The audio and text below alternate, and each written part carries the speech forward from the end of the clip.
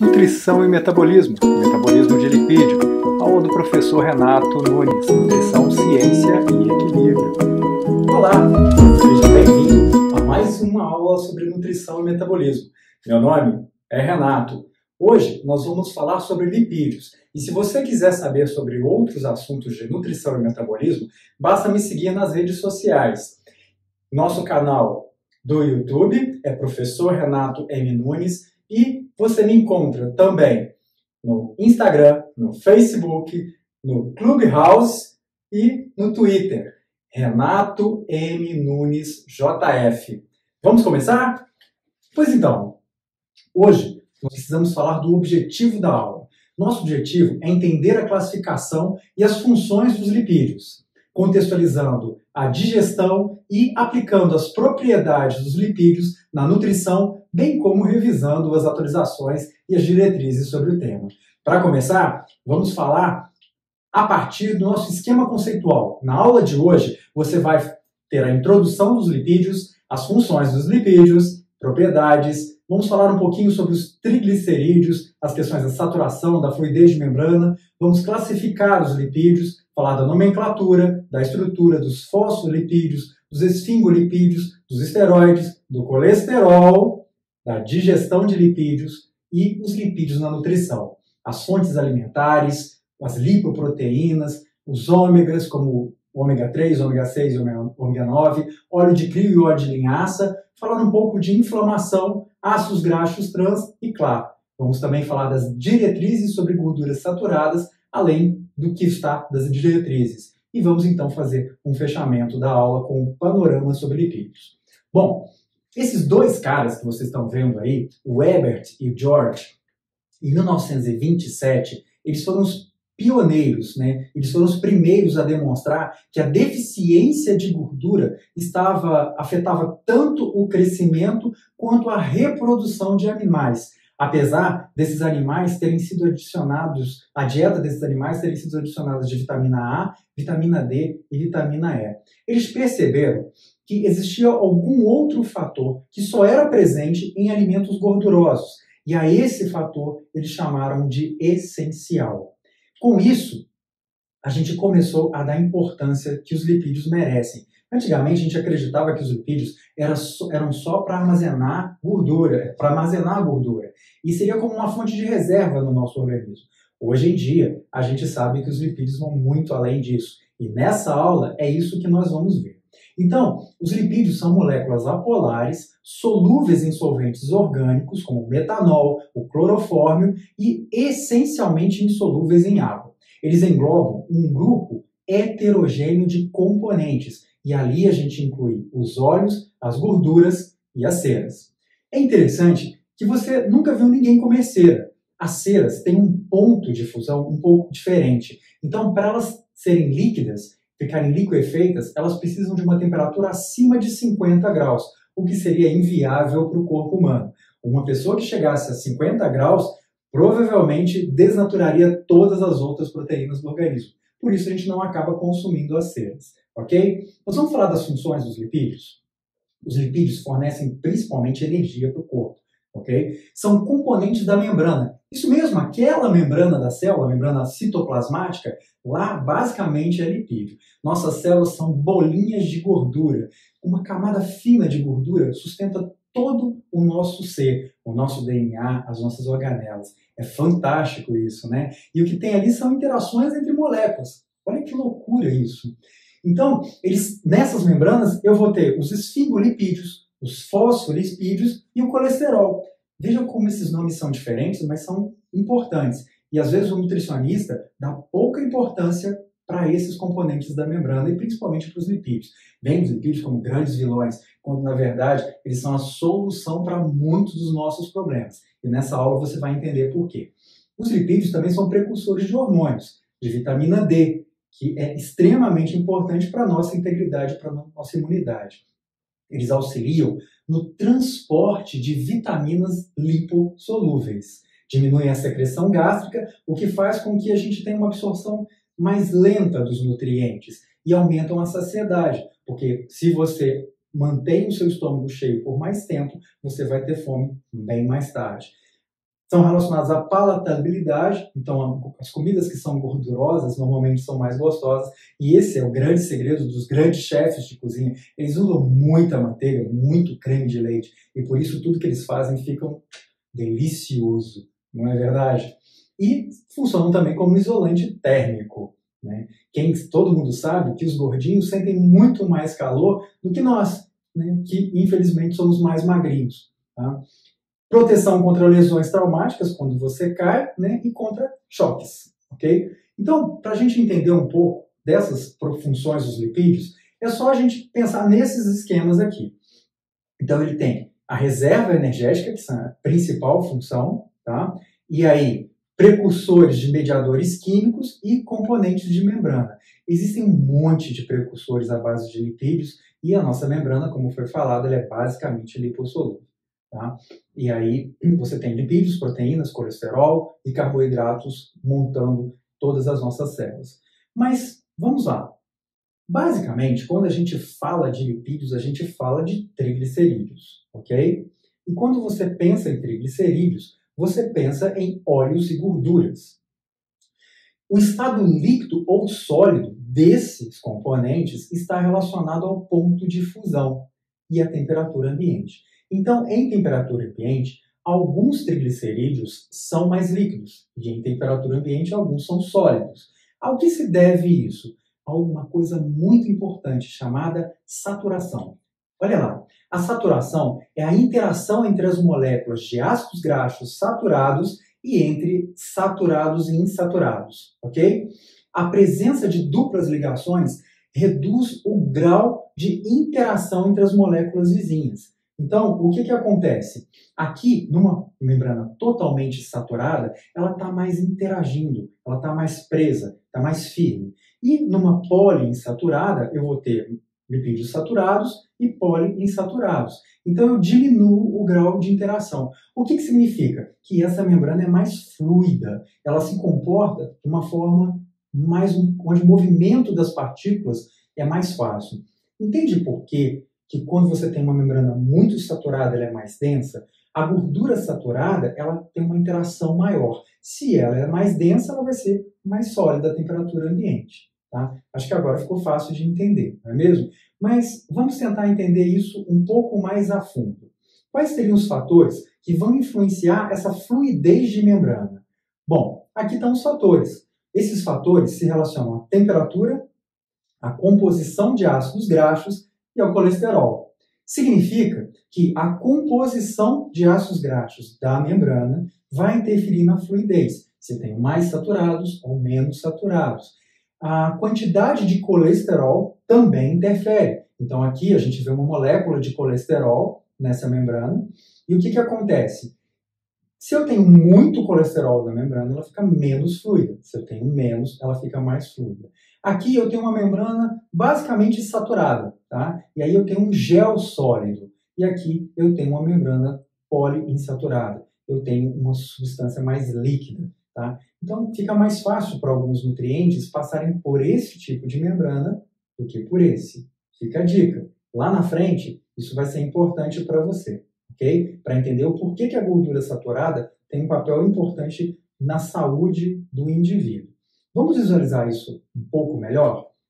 Aqui eu tenho é, um, um esquema mostrando tá, para vocês o que, que acontece com as membranas? Então, eu tenho o transporte das moléculas, eu vou ter uma difusão simples, tá? eu vou ter canais que facilitam essa, essa difusão, tá? canais mediadores, e tudo isso é transporte passivo. E aqui eu tenho transporte ativo, onde eu vou ter um gasto de energia, ok? Nesse caso, então, a permeabilidade da membrana ela vai ser muito importante. Veja aqui embaixo. Alguns gases, né, como o CO2 e o O2, eles passam tranquilamente pela membrana, ok? Gordura, né, benzeno e etanol também passam. Mas veja, a glicose e os aminoácidos, eles não passam pela membrana, porque a membrana repele. Então eu preciso de um carreador, eu preciso de um transporte ativo. Quando a gente estudou glicose, a gente falou muito dos glúteos, lembra? GLUT3, GLUT4, GLUT10, que precisavam ou não de insulina, que a insulina fazia um acoplamento para a abertura desses canais. Então veja, com os aminoácidos e com a glicose acontece da mesma forma. Com os lipídios, eles passam naturalmente. E aí, a concentração também é importante. Olha que interessante. Do lado de fora, eu tenho uma alta concentração. Do lado de dentro da célula, tenho uma baixa concentração. Qual vai ser a direção da passagem dessas substâncias? Do lado mais concentrado para o lado menos concentrado. Ok? Entendido isso, fica um pouco mais fácil da gente entender os mecanismos dos lipídios. E aí vamos passar para as classificações dos compostos dos lipídios, porque isso também é importante. A gente classifica os lipídios em três, três classes, tá? Lipídios simples, lipídios compostos e lipídios derivados, ok? Nos lipídios simples, eu vou ter os acilgliceróis ou glicerídeos e as ceras. Os lipídios compostos, fosfolipídios, esfingomielina, cerebrosídeos e gangliosídeos, além de glicoesfingolipídios, ok? E nos lipídios derivados, eu vou ter materiais insolúveis não lipídicos. Vamos saber o que são os lipídios simples? Basicamente, eles são compostos de glicerol e ácido graxo. As ceras são álcool de cadeia curta mais ácido graxo de cadeia curta. Já nos lipídios compostos, eu vou ter um grupo prostético, ou seja, um grupo que não faz parte dos ácidos graxos, não faz parte do glicerol e dos ácidos graxos formando triglicerídeo. Então, por exemplo, eu vou ter glicerol mais ácido graxo mais fosfato. Na esfingomelina, eu vou ter esfingosina mais ácido graxo mais fosfato mais colina. Nos cerebrosídeos, esfingosina mais ácido graxo mais um açúcar simples, que normalmente é a glicose. Gangliosídeos, esfingosina mais ácidos graxos mais carboidratos complexos. E glicoesfingolipídios, componentes da superfície celular, como por exemplo no caso do grupo sanguíneo. É, sabe, grupo A, B, O e AB? Aquela característica é dada exatamente por um glicoesfingolipídio. Então, o carboidrato é muito importante nessa situação. E, finalmente, nós temos os lipídios derivados, como, por exemplo, os carotenoides, os esteroides, as vitaminas lipossolúveis e as prostaglandinas. Isso.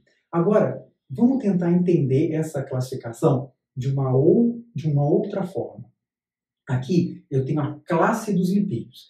Então eu tenho os ácidos graxos, os triglicerídeos, os glicerofosfolipídios, os esfingolipídios e os esteroides. Esse esquema mostra basicamente isso. Então, triglicerídeos, três moléculas de ácido graxo, glicerofósforo, eu vou ter uma molécula de fosfato, e aqui esfingomielinas, tá? que vai ser essa molécula aqui, que vai fazer parte dos esfingolipídios, e aqui glicolipídios. Tá? Mais ácido graxo, mais álcool, mais açúcar. Bom, vamos melhorar o entendimento disso? Eu criei esse esquema aqui para você perceber como isso funciona. Tá? Eu, vou, eu vou mostrar para você que nos lipídios de armazenamento eles são apolares. Então, eu vou ter principalmente triglicerídeos para se armazenar. Eu tenho uma molécula de glicerol, 3 de ácido graxo. Mas eu tenho também os lipídios de membrana, lá da membrana da célula. Eles são divididos em fosfolipídios e glicolipídios. Nos fosfolipídios, eu vou ter os glicerofosfolipídios e os esfingolipídios. Então, nos glicerofosfolipídios, eu vou ter o fosfato e um outro grupo. Os esfingo, esfingolipídios, eu vou ter esse radical fosfato mais a colina, ok? Além da esfingosina. Nos glicolipídios, eu vou ter os esfingolipídios com a esfingosina, ácido graxo, mais um carboidrato. É claro que isso precisa ser dado um nome, concorda? Como é que eu vou simplesmente tacando o nome nas coisas? E para isso foi feita uma nomenclatura. Na nomenclatura, a gente diz o seguinte: tem três formas de você identificar lipídio e aí você vai dando nome para esses lipídios. Primeira forma é quanto ao número de átomos de carbono, que vai ser indicado por prefixos gregos, lá da Grécia, isso mesmo. Então, se eu tenho 12 carbonos, do deca, de 12, dodeca. Se eu tenho 14 carbonos, tetradeca. 16 carbonos, hexadeca. 18 carbonos, octadeca. 20 carbonos, eicosa. 22 carbonos, docosa. Veja que ácidos graxos normalmente se apresentam em números pares. Por isso que você não está vendo números ímpares aqui. Tá? Vamos entender então agora como é que eu faço a segunda nomenclatura. Bom, é quanto à presença de ligações duplas. Então, saturados, o sufixo anoico. Insaturados, o sufixo enoico. Se eu tenho duplas ligações, eu posso ter uma, duas ou várias. Se eu tiver uma dupla ligação, enoico. Renato, e se eu tiver duas? Dienoico. Três, trienoico. Quatro, tetraenoico. Cinco, pentaenoico. E seis, hexaenoico. Aqui a gente tem um exemplo de uma ligação que está relacionada à posição desses aminoácidos, que é a nossa terceira nomenclatura. Se esse ácido graxo é cis ou se ele é trans, ok? Então, no ácido graxo cis, a gente dá a letrinha Z. E o que, que acontece? Se você observar, você vai perceber que esse ácido graxo aqui, olha, ele tem uma dupla ligação e olha o hidrogênio dele, ele está exatamente no mesmo local. Então, o que, que eu digo? Ligantes iguais do mesmo lado do plano. Um exemplo disso é o, o ácido oleico, com 18 carbonos tá? e uma dupla ligação. Ok? Olha lá. O fator de fusão dele, 13 graus. Ok? Agora, vamos para um outro. Ele também tem uma única dupla ligação, só que o hidrogênio está em locais opostos, tá? em um oposto ao outro. A esse a gente chama de elaico. Ele tem 18 carbonos, ok? E olha o ponto de fusão dele, 45. Então, ligações trans são ligantes iguais de lados opostos do plano.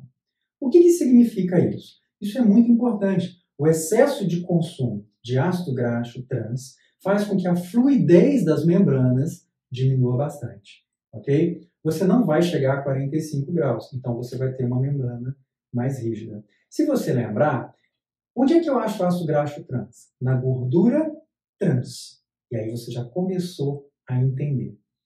Mudando um pouquinho, né, continuando o nosso assunto, olha lá, ácidos graxos da nomenclatura. Eu vou ter então o saturado, C18,0, o monoinsaturado, C18,1, significa que só tem uma dupla ligação, e ela está no carbono 9. O poliinsaturado, 18 com duas duplas ligações, tá? E aí eu chamo de ômega 6. E o poliinsaturado, 18 com três duplas ligações, ômega 3. Por que desse 9, desse 6 e desse 3? Se eu contar aqui, ó, deixa eu só aumentar para a gente fazer uma visualização melhor dessa molécula. Se eu aumentar essa molécula, essa é saturada, não tem dupla ligação. Vamos contar aqui, ó, um carbono, dois 3, 4, 5, 6, 7, 8, 9. A dupla ligação está no nono carbono. Se eu começar de trás para frente, 1, 2, 3, 4, 5, 6, 7, 8, 9. Nesse caso, o ômega 9, que está aqui, significa que eu tenho a ligação no carbono 9, e o teta 9, que também diz que essa ligação está no nono carbono. É coincidência. Mas se eu pegar, por exemplo, o segundo aqui, ó, 1, 2, 3, 4, 5, 6, ok? Então eu tenho ômega 6. Mas aqui eu digo que tem uma no 9 e no 12. Por quê? Ó, 9, tá equiparado aqui, então esse é o carbono 9, 10, 11, 12. Então, o teta é daqui para cá e o ômega é daqui para cá. Entendido isso, a gente já pode, então, conhecer esses ácidos graxos. Olha que fantástico a quantidade de ácidos graxos que existem e cada um com uma função no organismo. Imagine que depois dessa aula você pode sentar, pegar essa tabela e começar a estudar a propriedade de cada um desses ácidos graxos na sua vida, no seu corpo. Isso vai fazer com que você tenha sacadas incríveis, ok? Então, vamos lá. Ácido cáprico, ácido láurico, ácido mirístico, palmítico, esteárico, araquídico, BMico, palmitoleico, opa, já mudou. Então esse tem uma dupla ligação. Oleico, linoleico, linolênico, li, alfa e gama linolênico, araquidônico, EPA e DHA. EPA? Isso. Lembra lá do ômega 3 que a gente compra a cápsula? Vem assim, ó, EPA, rico em EPA e DHA. A gente vai falar sobre isso no meio da aula. Me aguarde. Não sai daqui não, que tem bastante coisa interessante para você ver. Vamos continuar aqui? Veja que esses aqui ó, são todos saturados e esses aqui são insaturados. Aqui eu tenho o delta né, e tenho o ômega de cada um. Tá? Vamos ver como é que fica isso no espaço, comparando um com o outro. Se você observar a cadeia desse ácido graxo, olha só, ele é todo saturado e ele é o ácido esteárico, que é saturado. Se você observar esse aqui, é o oleico, tá bom? Esses ácidos graxos são diferentes somente pela dupla ligação, nada mais que isso. Tá? E o resto, Renato? Tem mais ácidos graxos por aí? Ixi, tem muita coisa. Essa tabelinha aqui mostra para você os ácidos graxos que existem. Então aqui eu tenho o número de carbonos, tá? o, o número da dupla ligação, se houver, e a posição dessa dupla ligação. Então eu tenho fórmico, acético, propiônico, butírico. Só para te, te, esclarecer, o ácido fórmico é o da formiga, tá? Olha lá, ele tem um carbonozinho só, ok? Ácido acético, propiônico, butírico, valérico, capróico, caprílico, cap, ácido caprílico, é, com, com, com 8 e com 10, o láurico, o mirístico, o palmitato, o esterato, o oleico, o linoleico, o linolênico, o araquidônico e o ácido araquidônico. O aracil, desculpe, o araquidônico. Veja que o araquidônico, o linoleico e o linolênico têm umas estrelinhas. Por que disso? Tá aqui. Eles são essenciais na nutrição humana. Então, tanto o ácido oleico quanto o linoleico e o araquidônico são muito importantes para a integridade do nosso organismo e a gente não consegue produzir eles em quantidade suficiente. Renato, é muita coisa para guardar. Como é que eu vou fazer com tudo isso? Na prática, você vai se acostumando com esses nomes.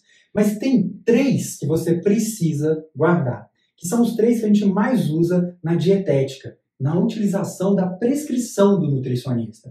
Eles têm uma macete para você guardar eles, que eu vou te ensinar agora. Presta atenção, hein? Olha só, ômega 3 linoleico, linolênico, desculpa, ômega 6 linoleico e ômega 9 oleico. Linolênico, linoleico, oleico. Ômega 3, ômega 6 e ômega 9. O que você percebe aqui? Quanto menor o número, maior o nome. Quanto menor o número, maior o nome. Quanto maior o número, menor o nome. Olha que legal. Para a gente guardar isso, é fácil. Se você pegar o ômegazinho e colocar um 3, você vai ver que ele parece um peixinho. Então, o ômega 3 ele está presente principalmente aonde? Nos peixes, ok? Já o ômega 6, tá? Ele vai estar presente no milho, nos óleos vegetais, de uma forma geral, tá? E o oleico na azeitona, ok? Então, veja bem, oleico vem de oliva, de óleo de oliva. E aí você tem aqui várias azeitonas. Se você guardar que oleico vem de oliva e que linoleico parece um peixe e é muito grande, então os peixes dão em cardumes, em grande quantidade, ok? Você, você vai perceber que o nome linoleico é grande, você vai encontrar então o ômega 3. Se você souber o ômega 3 e souber o ômega 9, o ômega 6 fica fácil de saber. Gostou da dica? Escreve aqui embaixo se você gostou, ok? Vamos então continuar. Agora a gente vai falar um pouco como é que eu junto esses ácidos graxos para eles virarem gordura. A formação dos triglicerídeos. Então a gente tem os triglicerídeos, os fosfolipídios, tá? E a gente vai começar a falar deles agora. Os triglicerídeos são formados por uma molécula de glicerol, que está aqui, e eles podem ser monoglicerol, diglicerol ou tri. Tá? Monoglicerídeo, diglicerídeo ou triglicerídeo. Aqui eu tenho apenas uma molécula de ácido graxo. Aqui eu tenho duas e aqui eu tenho três. Veja que eu tenho a conformação espacial dessa molécula. E é assim que ela se apresenta na nossa membrana. Tá bom? É, vamos falar agora, então, dos fosfolipídios. Ok? Falamos dos triglicerídeos, vamos falar dos fosfolipídios. Aqui, qual é a diferença básica dos fosfolipídios para os triglicerídeos? Eles têm apenas duas cadeias de ácido graxo e tem essa cadeia X aqui. Nessa cadeia X, eu tenho então outros elementos. Então, eu vou ter um fosfato tá, ligado ao glicerol e uma cadeia X. Bom, se eu tenho os outros elementos, eu preciso entender o que cada elemento desse significa. Se eu tiver água, o que, que vai acontecer? Eu vou ter um fosfatidato. Se eu tiver uma etalonamina, eu vou ter um fosfatidiletalonamina. Se eu tiver uma colina, um fosfatidilcolina. Se eu tiver uma serina, fosfatidilserina. Se eu tiver um glicerol, um fosfatidilglicerol. Se eu tiver um inositol, um fosfatidilinositol. E se eu tiver uma fosfatidilglicerol, eu vou ter então uma cardiolipina. Pelo nome, cardiolipina, você já sabe onde ela vai ser importante. Concorda? Bom, essa, basicamente, é a estrutura de um fosfolipídio. Então, aqui eu vou ter o glicerol, duas moléculas de ácido graxo, o fosfato e um álcool. Mas aí eu tenho também os esfingolipídios, lembra? Que eles se dividem em duas classificações. E aí, nos esfingolipídios, eu vou ter é, a esfingosina, que é essa molécula aqui em azul. Tá vendo?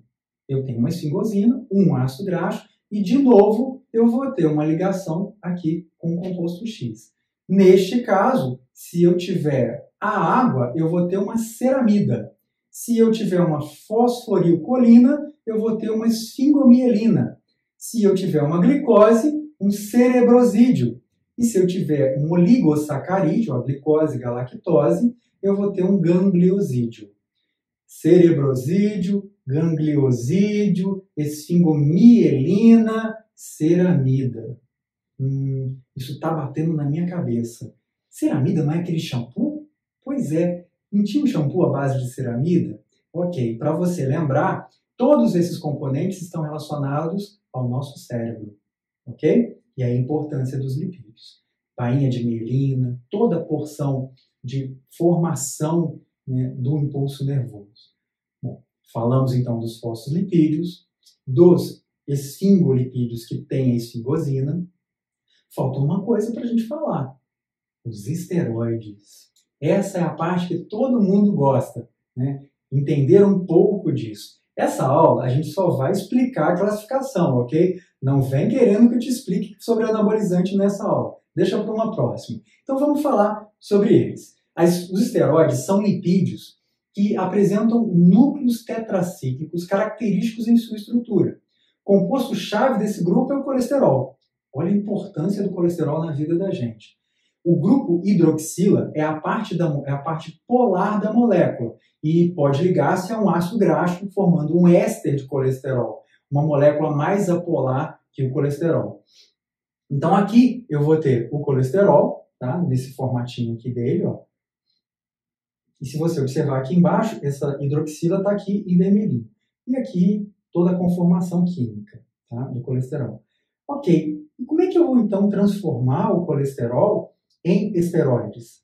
Bom, olha a importância. Por ser precursor a síntese de todos os outros esteroides, que incluem hormônios esteroides, como hormônios sexuais, da córtex das glândulas suprarrenais, dos sais, vão ser precursores também de sais biliares da vitamina D, o colesterol tem ainda uma função estrutural importante, que é lá na membrana. Tá? Então, se a gente analisar essas figuras, a gente vai pegar aqui ó, o colesterol no rato, tá? então ele está aqui representado no colesterol rato.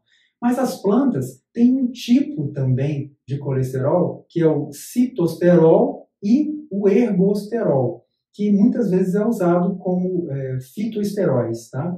E no nosso organismo, nós temos o cortisol, que é o hormônio da inflamação, a gente tem a progesterona, temos o calcitriol, a ednisona, o estradiol, a testosterona e a aldosterona. Tá? São todos hormônios derivados do colesterol. O colesterol é tão importante que eu resolvi passar um vídeo explicando melhor né, as fontes de colesterol e entender como que a gente produz esse colesterol no nosso organismo, ok? Então eu vou mostrar para vocês através de um vídeo para a gente entender melhor essa estrutura de formação do colesterol, tá bom?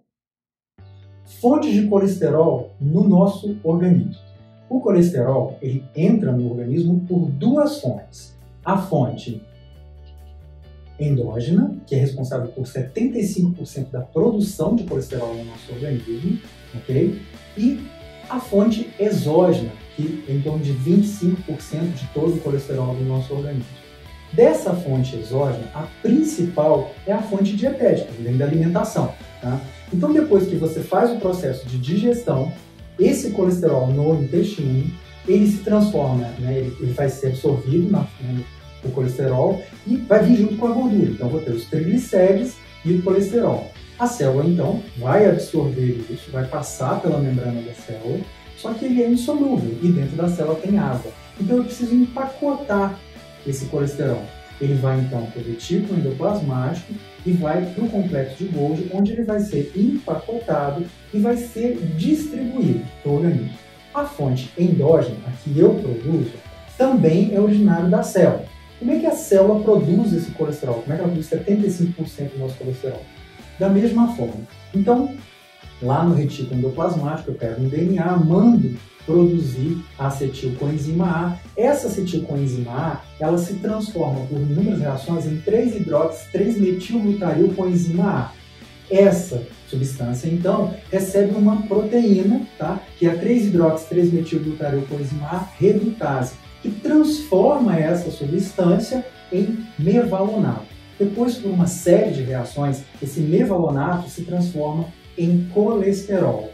A partir dessa transformação, ele vai se direcionar novamente para onde? Para o complexo de Golgi, onde ele vai então se transformar nas lipoproteínas, VLDL, tá? E a partir do VLDL, ele vai se transformar em IDL, em LDL e HDL. E assim ele vai circular pelo organismo, tá? através da corrente linfática e do sangue.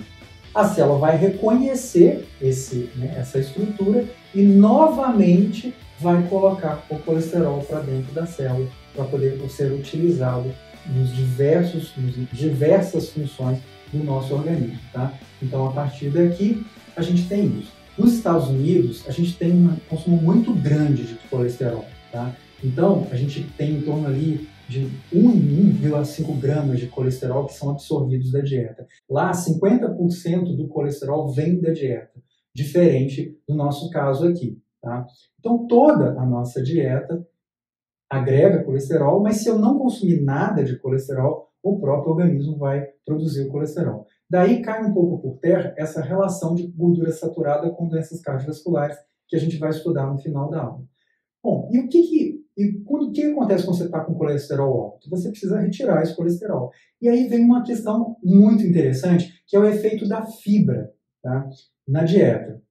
Como vocês viram, o colesterol é produzido né, pelo organismo.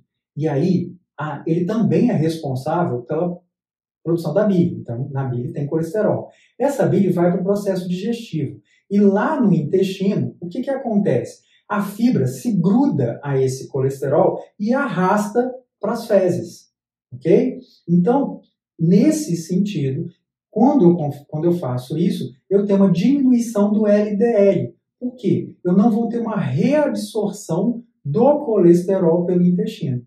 Tá? Então, eu vou ter um aumento do colesterol 7-alfa hidroxilase e a conversão do colesterol tá, no organismo.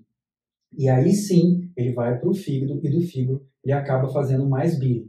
E aí ele acaba tirando colesterol do organismo. Então, esse ciclo de consumir fibra e eliminar colesterol abaixa o colesterol na corrente sanguínea, ok? Bom, a gente chegou até aqui de uma forma interessante. A gente primeiro falou disso e agora a gente vai falar sobre a digestão de lipídios. Por quê? É importante entender esse processo para entender a digestão, da importância do colesterol no nosso organismo. Tá? E digestão, vocês já viram lá atrás, então é só uma recordação mesmo. Então, a digestão dos lipídios vai começar no estômago pela ação da lipase gástrica, mas a maior parte da digestão ocorre no intestino delgado, tá? Pela ação da lipase pancreática e da bile. Só que antes disso, antes dessa grande digestão do intestino e do estômago, eu tenho a digestão salivar, que é muito importante em bebês. Ela é secretada, então, a lipase salivar, pelas glândulas serosas de Ebner, tá? que, é, que são no dorso da língua, ou seja, na parte de baixo da língua, e não é de grande importância, exceto para as crianças. Tá? Ela é estabilizada pelo pH ácido do estômago e pode agir também na orofaringe, no estômago e no duodeno. Depois disso, eu vou para o estômago, onde eu vou ter o importante o calor do estômago, para fazer com que esses lipídios saturados fiquem líquidos, e aí eu vou ter a fase inicial de hidrólise, que é lenta, devido à falta de emulsificação. Né? Eu não fiz emulsão ainda dessas gorduras. Então, nessa fase, a aquosa e lipídica são separadas. Vai ter uma mistura do estômago, de todo esse bolo alimentar, e as lipases do estômago vão separar os ácidos graxos do glicerol. Então, ela consegue quebrar e separar glicerol e ácidos graxos. Eles irão atuar como detergente, utilizando na emulsificação lipídica, aumentando a superfície de contato e facilitando a interação. Então aí eu começo a fazer a emulsão das gorduras. E o que, que significa isso? aqui eu tenho uma gordura emulsionada. Significa que eu tenho lipídio, tá? eu tenho o detergente que é acrescentado e a água que se liga a esse detergente. Então eu vou ter aqui ó, uma emulsão, água nas pontas, detergente, lipídio no centro. Tá? Então, qual seria o papel dessa lipase gástrica? Secretada no estômago, no suco gástrico. Principal local de ação é na região fúngica. fúngica. pH ótimo entre 3 e 6 é a principal lipase pré-duodenal. Hidrolisa triacilgliceróis com ácido graxo de cadeia média, ácidos graxos de cadeia curta e ácidos graxos insaturados de cadeia longa, em especial, ácidos graxos de cadeia média também nas posições 1 e 3. Possui papel fundamental nos lactentes, porque a gordura do leite ela é digerida de forma diferente. E lá no intestino, como é que vai acontecer essa digestão? Aí eu vou ter então a emulsificação dos lipídios da dieta, que é o papel dos sais biliares, né, da bile, e a vesícula biliar que armazena a bile. Então lembrando que aqui eu tenho colesterol no formato de sais biliares. Composição da bile, ácidos biliares, ácido glicólico e taurocólico, pigmento bilirrubina, ácidos graxos, proteínas, sais minerais, colesterol e pH entre 7 e 7,7. Bom, conhecendo a composição da bile, eu vou entender então a emulsificação dos lipídios da dieta, papel dos sais biliares a bile secretada no duodeno através do ducto biliar comum. Então aqui ó, eu tenho a bile, aqui então eu tenho o ducto e aí eu secreto aqui. Nesse processo, então, eu começo a fazer a emulsão dos lipídios. Olha que interessante esse processo. A degradação dos triglicerídeos, a ação da lipase pancreática. A lipase pancreática ela tem dificuldade em hidrolisar a ligação éster secundária do triacilglicerol. Por isso, o 2-monoacilglicerol é o principal produto. Então veja que eu tenho o triglicerídeo aqui, eu tenho diacilglicerol e o 2-monoacilglicerol. Esse 2-monoacilglicerol tá, e o glicerol, ele acaba entrando na célula. E é dessa forma que ele entra. Tá? Então eu tenho aqui o triglicerol e o 2-monoacilglicerol. Ele entra na célula Daqui, ele então, esse ácido graxo e esse glicerol, monoacilglicerol, é mudado para triglicerídeo e os ácidos graxos vão para a corrente sanguínea. Na corrente sanguínea, a gente vai então ter né, a formação dos, dos e no fígado a gente vai ter então as lipoproteínas, tá bom? Como é que a gente vê isso? Né? Como é que a gente entende a ação dessa lipase? Tá? Aqui eu tenho a estrutura da lipase. Tá? E na ausência da micela lipídica, é, o sítio ativo está coberto por uma tampa helicoidal, que é essa tampinha aqui. Então, se eu não tenho a formação da micela, esse sítio fica coberto. Quando eu tenho a presença da micela, dos lipídios, o que, que acontece? Eu vou ter uma ativação, e aí essa lipase vai promover a quebra. Tá vendo? Eu tenho aqui um triglicerídeo, ele encosta aqui, promove a quebra, e aí ele solta um monoglicerídeo, e aqui com dois. E assim você vai fazendo o processo de início da digestão. Bom, e aí vocês já devem ter ouvido falar no moderador de apetite que é, é era muito comum, né, que era o orlistat. O que, que esse orlistat, na verdade, faz? Ele impede exatamente a ação dessa tampa. Tá? Então, quando você toma né, é, o orlistat, que é um inibidor reversível das lipases gástricas tá, e pancreáticas, você impede que esse triglicerídeo se quebre. Então, ele se liga e impede tá? Ele se liga à, à lipase, então ela não consegue quebrar o triglicerídeo. O que, que acontece? Se eu tenho um triglicerídeo, eu não vou absorver. E aí esse triglicerídeo sai nas fezes. Só que essa quantidade de gordura nas fezes causa um desconforto muito grande. E as pessoas costumam ter uma esteatorreia. E é importante lembrar que a lipase ela se relaciona a todos os lipídios. Então, você também vai ter dificuldade de absorção de vitaminas lipossolúveis e de outros compostos lipídios, inclusive gordura essencial. Então, os ácidos graxos essenciais, você vai acabar tendo deficiência. Além disso, a esteatorreia, que é essa diarreia gordurosa que esse medicamento causa, ela acaba por depletar o organismo em vários nutrientes. Então, não é uma coisa que as pessoas devam usar como prática ou como conduta todos os dias. Só deve ser receitado por médicos e não deve ser feito a autoingestão desse medicamento sem a autorização do médico e sem uma avaliação nutricional desse indivíduo. Muitas vezes o médico prescreve, mas esse indivíduo já está espoliado em nutriente, já está inflamado, ele já está com um colo irritado. E aí o uso desses medicamentos pode agravar em muitos sintomas e algumas doenças. Então ficar atento a isso. Continuando então a digestão dos lipídios, a gente tem então a digestão dos triglicerídeos e o papel da colipase. Então eu tenho as lipases e tenho a colipase. Ela é secretada pelo pâncreas, não mais pela bile, ok? Então, lá no pâncreas, ela é secretada como procolipase. No intestino delgado, ela é ativada pela clivagem de um pentapeptídeo terminal, ao ser hidrolisada pela tripsina, e forma um pentapeptídeo denominado enterostatina. A procolipase gástrica é ativada pela pepsina e pelo ácido clorídrico, formando a colipase gástrica e os peptídeos de enterostatinas e são imunoreativos. O que, que, a gente quer dizer sobre isso? Que aqui ó, eu tenho então o ácido biliar e aí eu tenho a colipase que vai atuar no processo de digestão. Então a primeira coisa é que lá no pâncreas eu produzo a procolipase. Essa procolipase, então, através da tripsina, tá, vai formar a enterostatina. A procolipase gástrica é ativada pela pepsina, ok? E pelo ácido clorídrico, formando colipase gástrica e peptídeos de enterostatina e imunoreativos. Então, aqui, elas vão promover também a emulsificação. Como é que isso é feito? Vamos tentar entender isso. A lipase, ela age com um conjunto, em conjunto com proteínas colipase, formando o complexo proteico lipase-colipase, chamado lipase pancreática.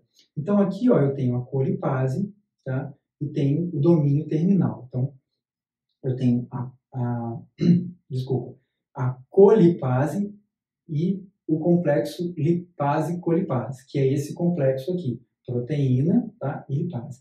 Então, eles agem em conjunto. O que, que elas fazem?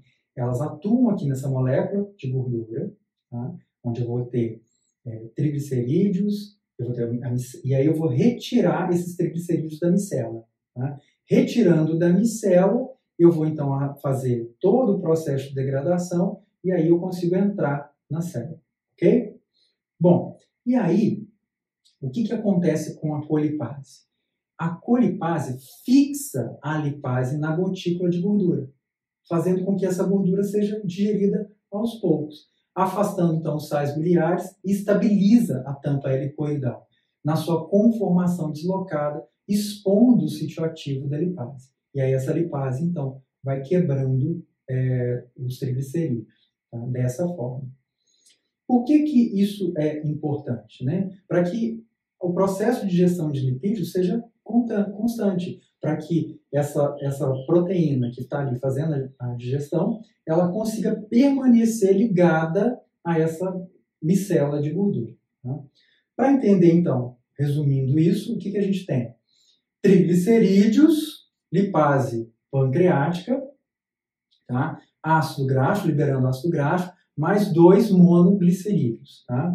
Sais biliares, formação das micelas. Formei as micelas, transporte até a borda em escova, entrada do enterócito. E aí eu vou ter a resterificação. Vou fazer o retículo endoplasmático liso e formação de quilomicros do complexo de Golgi, igual a gente viu no vídeo. E aí eu vou ter a exocitose para os vasos quilíferos da linfa.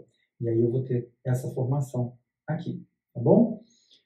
Bom, e com relação à colesterol-esterase, tá? que é a digestão do colesterol, eu vou ter o éster de colesterol, e aí eu vou ter a ação da colesterol-esterase e vou transformar isso em colesterol. E aí o colesterol, da mesma forma, vai entrar na célula. Então veja aqui, colesterol esterificado, tá? Eu vou então liberar ácido graxo, mais colesterol livre, sais biliares, formação de micelas, transporte até a borda em escova, entrada do enterócito, formação de quilomicrons no complexo de Golgi e exocitose para os vasos, através da linfa. Então, aqui é que são formados os quilomicrons. Se você tiver muito colesterol na dieta, você vai absorver muito e vai fazer muitos quilomicrons. Tá?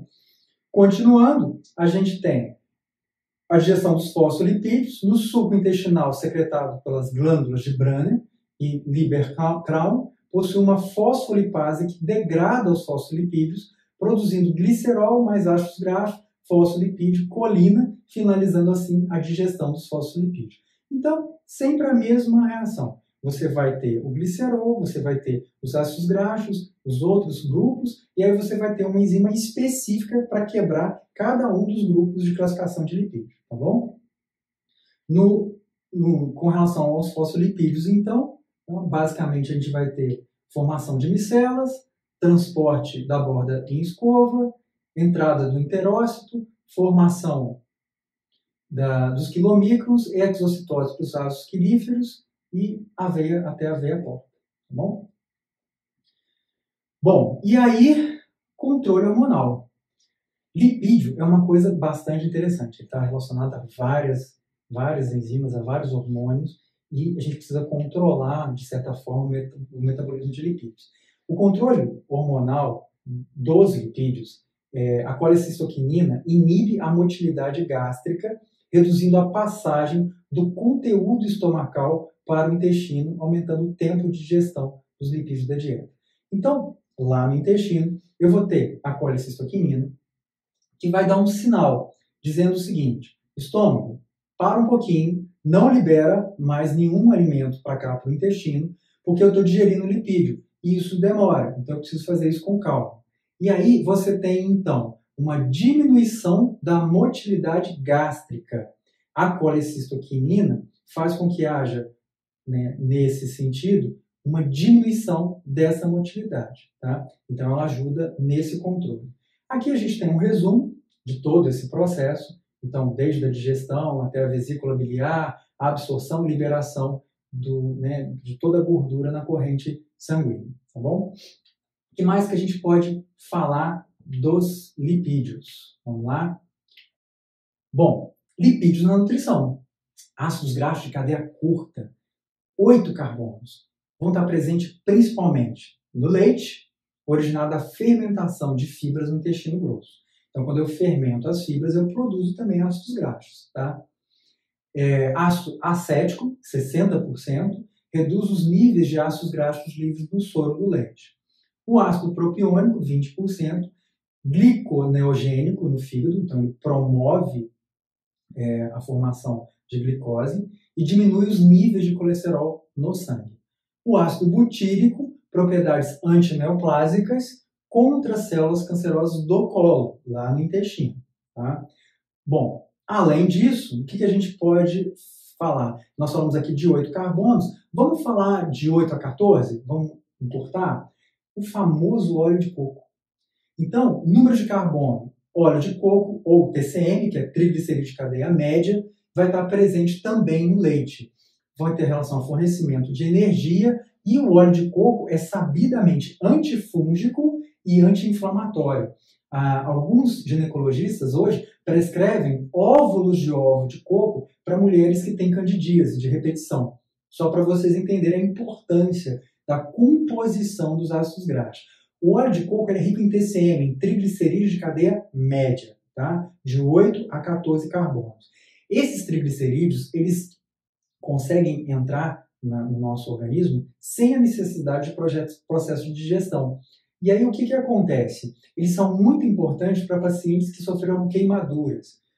A uso tópico, a enfermagem aplica TCM e com isso você tem a formação de grânulos de tecido. Eles também têm um efeito tampão e tem um efeito também antibactericida, por impedir a entrada de bactérias. Tem capítulo de um livro, que é um tratado de feridas, da professora Thelma Giovannini, que tem um capítulo só sobre a nutrição. Esse capítulo foi escrito por mim, pela professora é, Aline e pela professora Sheila. Depois, você dá uma procurada nisso, e existem essas bibliotecas virtuais que a universidade é, fornece, tá? Então, é tratado de feridas, ok? Você consegue ler esse capítulo. Ele fala só sobre essa questão de feridas e a nutrição e a importância do uso de TCM. Além disso, nós vamos falar então dos ácidos graxos maiores, né, 14 carbonos.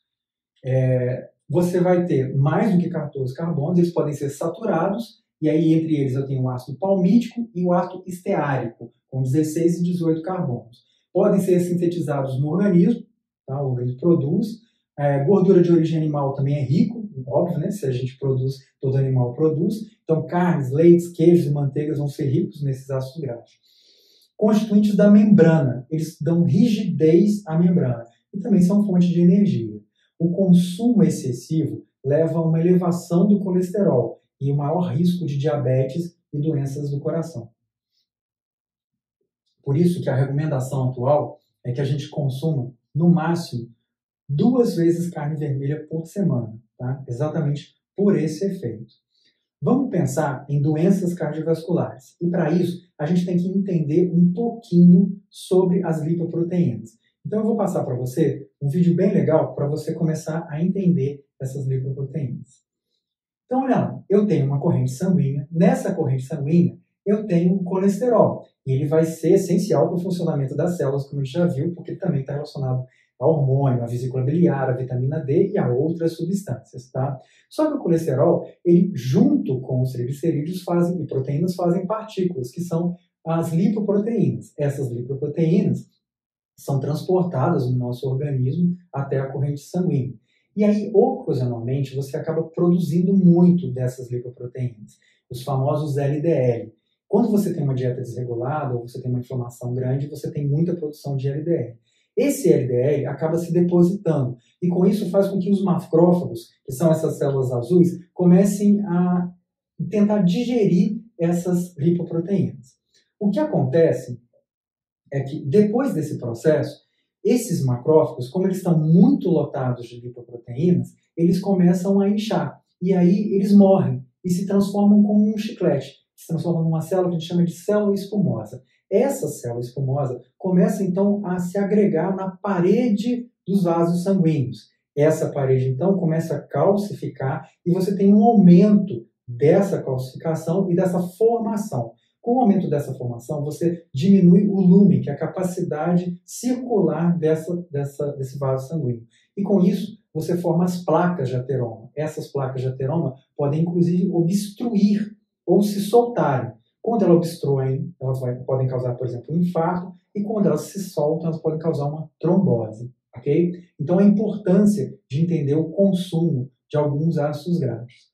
Vamos continuar então? Já que a gente falou de uma coisa não tão boa, vamos falar de uma coisa um pouquinho melhor. E aí a gente tem os ácidos graxos insaturados, os monoinsaturados, os MUFAs. Tá? Então, MUFA vem de monoinsaturado. Por exemplo, o ômega 9, que é o ácido oleico. Tá? Fonte: azeite, óleo de canola, castanhas, amêndoas e nozes. É, os benefícios: prevenção de doenças cardiovasculares, aumento de HDL, que seria o colesterol que, é, desculpa, que seria a lipoproteína boa que retira colesterol da corrente sanguínea e diminuição de LDL, que seria a lipoproteína que coloca o colesterol, que, que faz a placa de ateroma. Antitrombótico e inibição da agregação plaquetária, então ele impede que se tenha é, a agregação das plaquetas.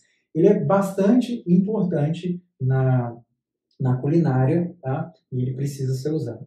Então, ômega 9. Com relação aos PUFAs, são os poliinsaturados. Então, eu tenho o ômega 6, que é o ácido linoleico, que é essencial, óleo de girassol, de açafrão, de milho, de soja. Ele tem alguns benefícios. Ele diminui o colesterol total, diminui, doen né, diminui doenças arteriais coronarianas. Mas cuidado com o excesso. O ômega 6 ele é inflamatório em alguns casos. Se consumido em excesso, ele faz o efeito rebote, que acaba aumentando a inflamação no organismo. Ok? Podemos continuar, então, do famoso ômega 3, o queridinho dos nutricionistas. Ácido linolênico, 18 carbonos, tá? 3 duplas ligações. Fonte, óleo de linhaça como precursor, de canola, de soja, de nozes. Necessário ao desenvolvimento de benefícios e proteção de doenças cardiovasculares. Tá? É óbvio que o ômega 3 é encontrado também nos peixes, no formato de EPA e DHA. Lembra do EPA lá de trás da aula? Tá aqui, ó. EPA, ácido eicosapentanoico e ácido docosahexanoico, enoico, o EPA e o DHA. Por que, que a gente fala EPA e DHA? Imagina você repetindo esses nomes, né? Eicosapentaenoico, decosahexaenoico, EPA e DHA. Muito mais fácil. Fonte: peixe de água fria, salmão, sardinha, cavala e arengue, óleo de peixe, linhaça. Benefícios: diminuição de triglicérides, de colesterol, de LDL, de VLDL e aumento de HDL. Ok? Só para a gente entender um pouquinho, a ação anti-inflamatória desses ácidos graxos, aqui ó, a gente tem, no caso do óleo de linhaça, que é o ácido alfa-linolênico, o DHA e o EPA. Então, eles têm é, relação anti-inflamatória no organismo e você dosa, em contrapartida, o ácido araquidônico. Então, a relação entre ácido araquidônico e EPA é uma relação importante. Tá? Se ela, ela tem que estar em torno de 5 ou abaixo de 5. De 5 a 10 já indica um nível de inflamação, ou seja, esse indivíduo está inflamado. Acima de 10, né, maior que 20, você está muito inflamado. E aí você já está no nível de desenvolver doenças autoimunes. Tá? Então é muito importante que a gente, tendo condições, faça essa dosagem na presença de sintomas de doenças crônicas, né, como diabetes, hipertensão, artrite, artrose, depressão. É muito importante você fazer essa dosagem para que você entenda o que está acontecendo. Pode ser que o seu consumo de, de ácidos graxos poliinsaturados ômega 9 é, ômega 6, desculpa, esteja muito grande e aí você esteja fazendo um processo inflamatório, então você precisa contrabalancear isso colocando mais azeite e mais óleo de peixe na sua alimentação, ou consumindo linhaça, consumindo peixe e outros é, produtos, e diminuir carne vermelha e leites, ok?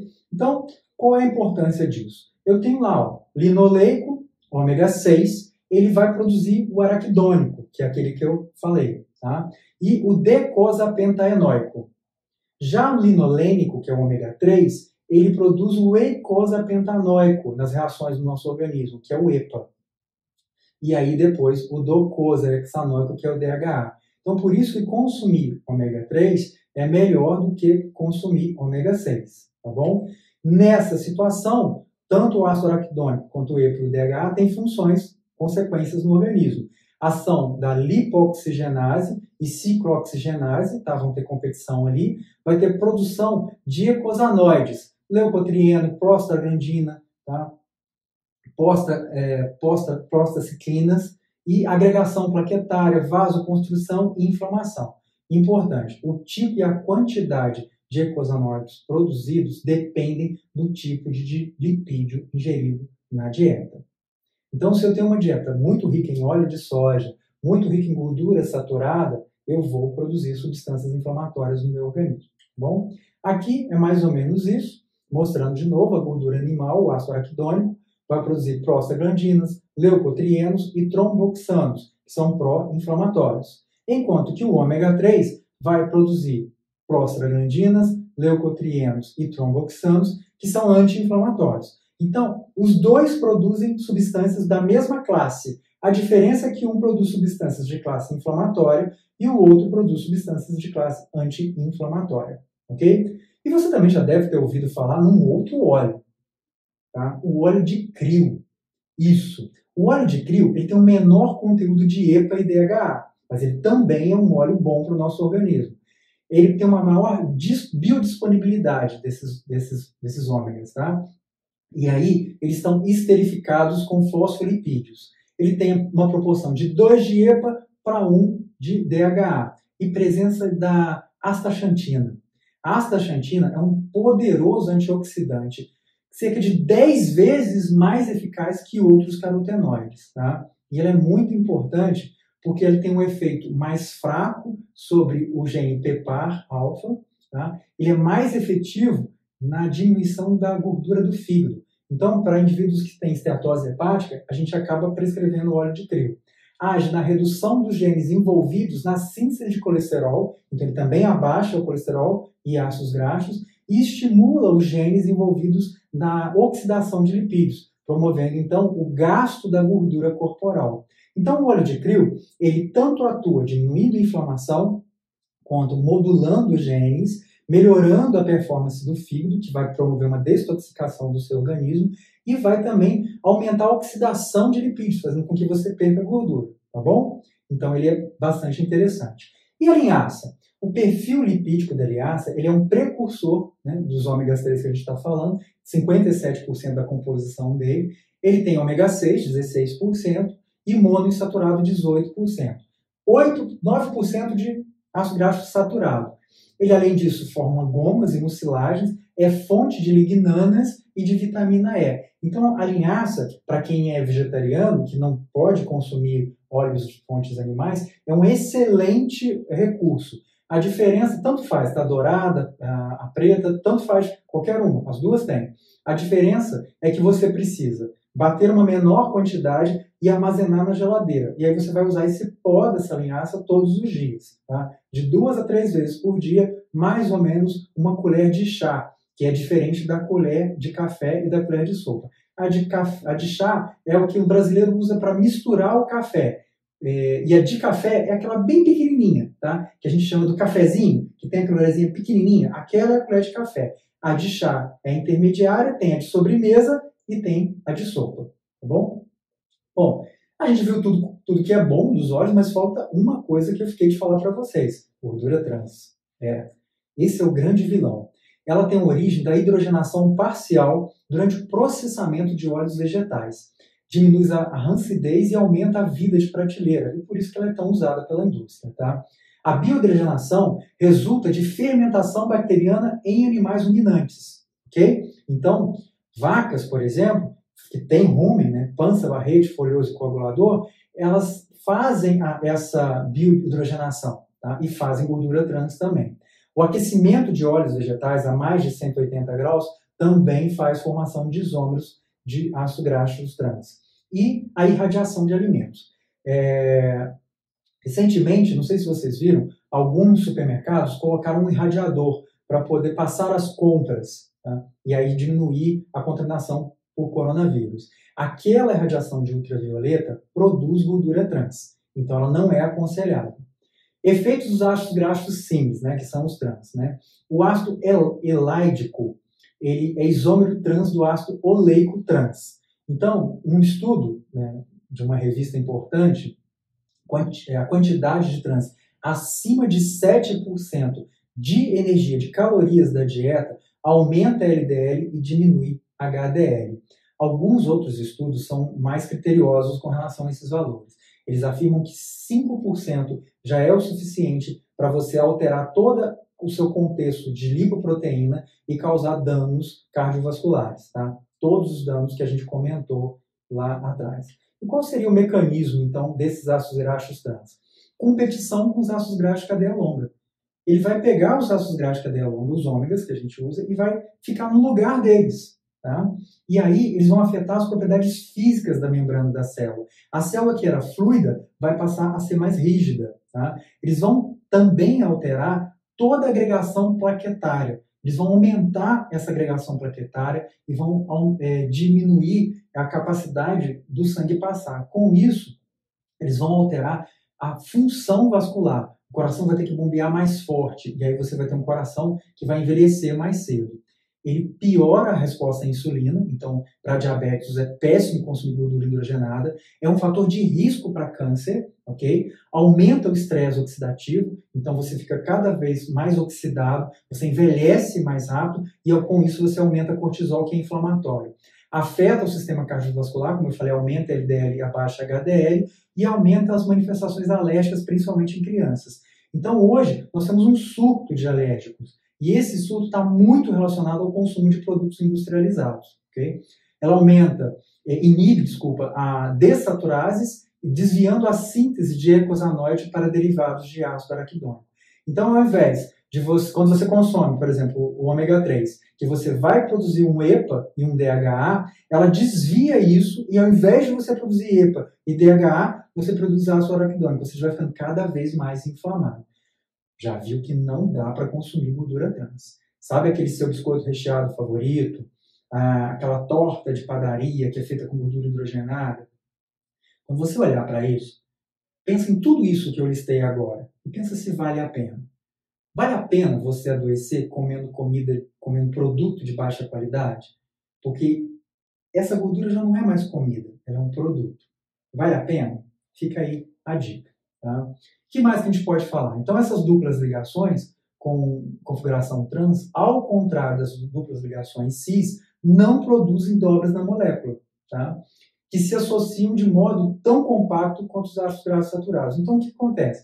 A gordura trans ela é semelhante à gordura saturada. Ela tem uma dupla ligação, mas ela não dobra a molécula. A molécula fica reta. Então, as interações são maiores. Tá? Maior fonte de ácido graxo trans é a da gordura hidrogenada mas também é também chamado de gordura vegetal. 90 a 95% das trans da dieta são dessas gorduras. E o percentagem de ácido graxo trans em manteiga, margarina de consistência cremosa e de consistência dura é de 3% na manteiga, 15% na margarina mole e 25% na margarina dura, tá bom?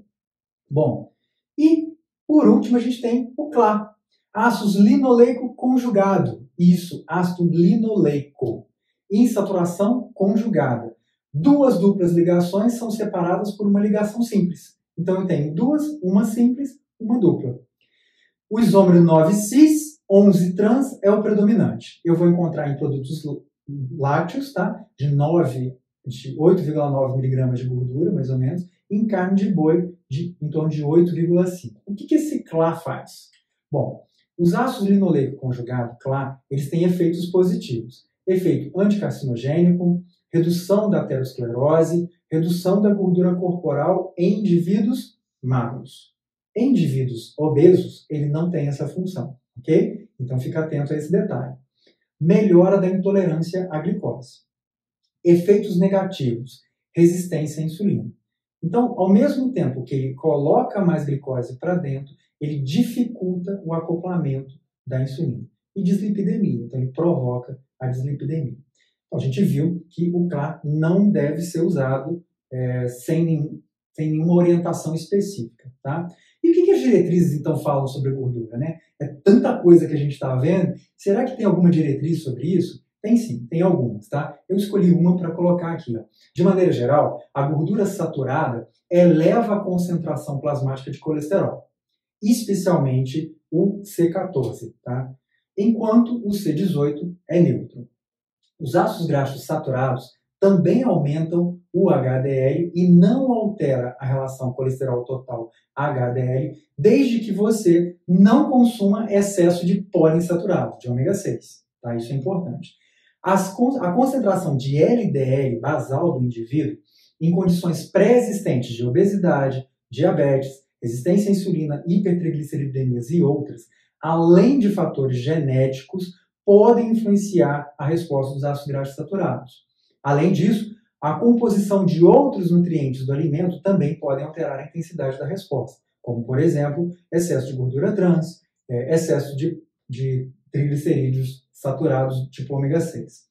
Em meta-análise, observou-se a evidência insuficiente que a ingestão de ácido graxo saturado aumente o risco de doenças cardiovasculares tá, e de acidente vascular cerebral em indivíduos que não têm essas doenças prévias e que têm alimentação saudável, ok? As evidências parecem ser limitadas no que concerne aos efeitos pró-inflamatórios de ácidos graxos. Os ácidos graxos saturados não tendem a fazer inflamação, mas se você já está inflamado, eles pioram a condição cardiovascular, ok? E além dessas diretrizes, o que mais que a gente pode dizer? Existem evidências científicas que suportam ligações diretas entre ácidos graxos saturados e doenças cardiovasculares? Sim, existem, em condições onde o indivíduo não é saudável. Mais de 30 estudos de corte mostram que pacientes com doenças cardiovasculares não ingerem mais ácidos graxos saturados que, do que com os bons da saúde. Tá? Então, o que acontece? A questão da saturação é um ponto da doença cardiovascular. Para ela ocorrer, você precisa de, dos outros fatores concomitantes, ou seja, excesso de ômega 3, consumo de gordura saturada, uma doença pré-existente, tudo isso vai acabar levando. Tá? Ácidos graxos saturados aumentam a LDL, mas também o HDL. Logo, não altera a razão LDL e HDL em indivíduos saudáveis. Alguns estudos associam excesso de PUFA, em especial ômega 6, né, N6, com efeitos adversos à saúde, como alergias, câncer, redução de fertilidade, imunossupressão e pré-eclâmpsia. Então, para você que cozinha com óleo de soja e que consome pão com óleo de soja e que tem consumo muito grande de produtos industrializados que são feitos com óleo de soja e com gordura trans, gordura hidrogenada, fica aqui a, a, o recado. Essa gordura, quando consumida dessa forma, ela vai ser prejudicial, podendo inclusive causar processos alérgicos. Tá? A gente segue então para o final da nossa aula, com o famoso panorama do Renato. Nesse panorama, nós falamos sobre gorduras, a importância de conhecer as gorduras. Fala para mim, você sempre teve dificuldade de assistir uma aula de gorduras. Depois dessa aula, não ficou bem mais interessante? Entender gordura é muito importante para você dar saúde aos seus pacientes e para você dar saúde para você e para sua família. Você entendeu a importância dos monossaturados, dos polissaturados, a importância dos saturados. Viu que uma alimentação adequada vai ter os três na sua dieta, mas principalmente que o excesso de ômega 6 pode ser prejudicial por causa da inflamação.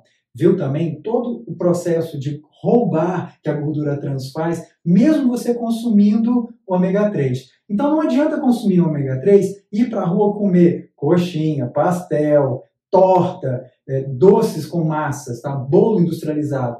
Você vai desviar todo o processo de ômega 3, de EPA e DHA para produzir ácido araquidônico, tá? que é inflamatório. Então, isso é importante. A gente aprendeu também a digestão dos lipídios, como é importante a ação da fibra sobre o colesterol, diminuindo o colesterol. Essa aula é para você começar a se apaixonar por lipídios, porque veja bem, nós falamos um pouquinho só dos hormônios, mas ainda tem toda a regulação hormonal lipídica. Você tem que estudar leptina, grelina, resistina. A gente viu também que as gorduras, elas mudam a velocidade de absorção do estômago. E além disso, estudos recentes mostram que bactérias podem produzir proteínas que são reconhecidas como não nossas e a gente produz um anticorpo.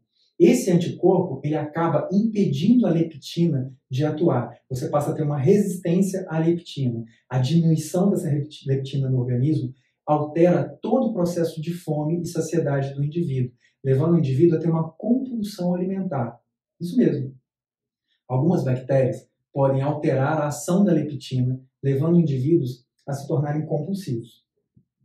Significa que muitas vezes os episódios de fome que você tem estão muito relacionados com a sua disbiose intestinal. Então, se você tem distensão gástrica, episódios de diarreia e constipação, se você tem fungos de repetição ou candidias de repetição, Se você tem descamação da pele, são sintomas de desbiose. O abdômen bem inchado, tá? azia, é, má digestão, são sintomas característicos. Se você tem desbiose e você vem enfrentando compulsões alimentares, vontades incontroladas de consumir determinados alimentos, você pode estar tendo uma associação entre bactéria, intestino e leptina.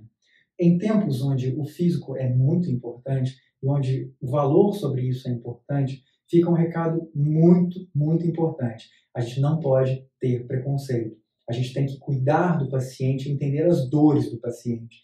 O paciente nem sempre é o mais responsável por aquilo que ele faz. Existem toda uma gama fisiológica de comportamento, psicológica, de memória afetiva e de bactérias que podem estar provocando a não adesão à dieta. Tá? Então, com relação a isso, eu vou deixar aqui uma mensagem para vocês. Existe uma linguagem que está além das palavras, que está além da ciência.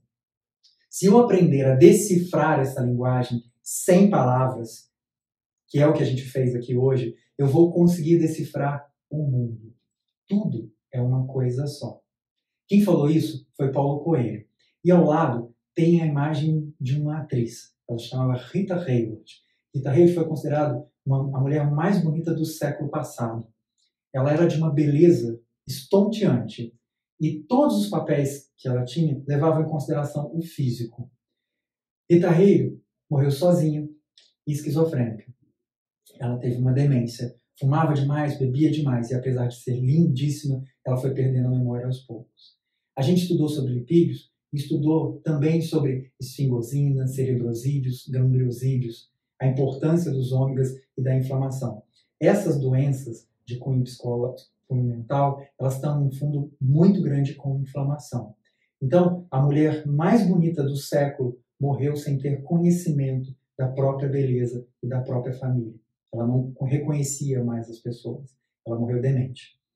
Mais importante do que você cuidar da sua aparência externa é você cuidar do seu interior, emocionalmente, lipidicamente falando. Use lipídios de boa qualidade e seja mais saudável. Essa foi a aula de lipídios e metabolismo. Meu nome é Renato, aqui está a minha formação. Você me encontra no YouTube, onde você está me assistindo, provavelmente, professor Renato M. Nunes. E nas outras redes sociais, Renato M. Nunes JF. Muito obrigado por você assistir. Curte o nosso canal, ativa o selinho quando você para você receber uma nova aula que eu postar. E é isso aí. Comente, partilhe. O importante é que a gente divulgue nutrição de qualidade. Divulga a nutrição. A saúde do mundo só te agradece. Um abraço e até a próxima. Nutrição e Metabolismo, Metabolismo de Lipídio, aula do professor Renato Nunes, Nutrição, Ciência e Equilíbrio.